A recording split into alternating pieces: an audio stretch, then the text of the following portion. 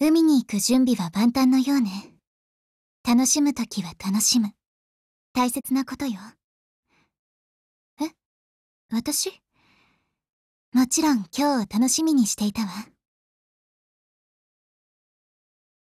おはよう。夏休みだからって寝坊せずに、ちゃんと起きてきたのね。当たり前といえば当たり前なんだけど、偉いと思うわ。暑いからって冷たいものばかり食べていてはダメよ。ということで、お昼はカレーを用意してみたの。夏野菜もたっぷり入っているわ。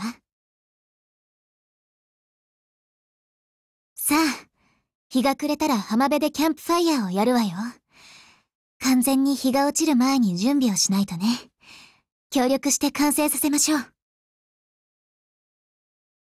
花火を打ち上げる音が聞こえるわね。どこかで花火大会でもやっているのかしら。近くだったら見えるかもしれないけど、行ってみる？どう？楽しんでる？夏の海ってやりたいことがたくさんあって、いくら時間があっても足りないくらいよね。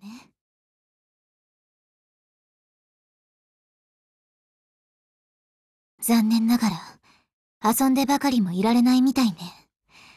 早々に魔女を退治して、海に戻りましょう。鏡の結界は夏でもひんやりしているわよね。いえ、涼みに来たわけじゃないのよ。調査を進めましょう。飛び込みができるところがあるみたいなの。プールではやったことがあるけど、海では初めてよ。一緒にどう？棒倒しいいわよ。私、こういう集中力が試されるゲームって得意なの。負けない。って、ずいぶん大きな山を用意したのね。よく冷えたラムネを飲みながら、ビーチパラソルの下で一休みっていうのも、風情があるわね。ラムネ、あなたの分もあるわよ。泳ぎ疲れたら、漂流物を拾ってみるのはどうかしら。貝殻とか、シーグラスとか、二つとないものがたくさんあるわよ。ま、待ちなさい、フェリシア。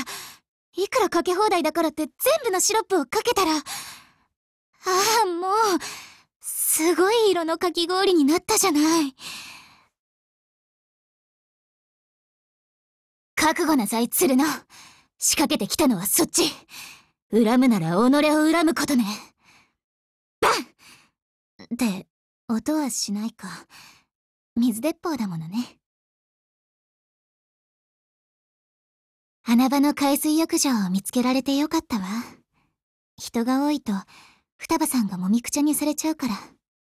せっかくだし、みんなで楽しみたいものね。おかしい。ありえないわ。人間、普通は海では浮くものなのよ。なのにどうして何度やっても、イロハは沈んでいくの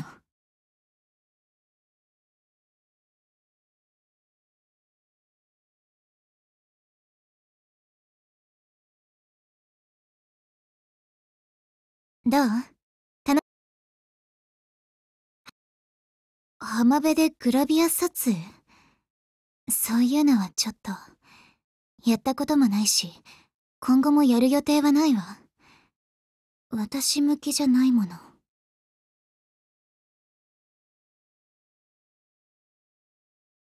浜辺でグラビア撮影？そういうのはちょっと。やったこともないし、今後もやる予定はないわ。私向きじゃないもの。